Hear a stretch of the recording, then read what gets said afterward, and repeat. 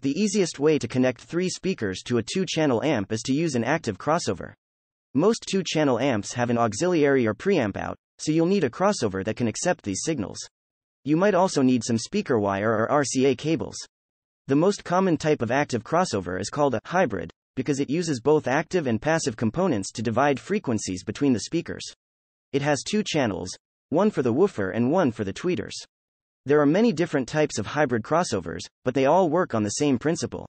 The woofer channel receives low frequencies from your receiver's preamp output, or power amp, and feeds them into the woofer's voice coil through some amount of resistance, typically 4 ohms. This resistance limits how much current can flow through the voice coil, which in turn controls how much power goes into moving its cone back and forth.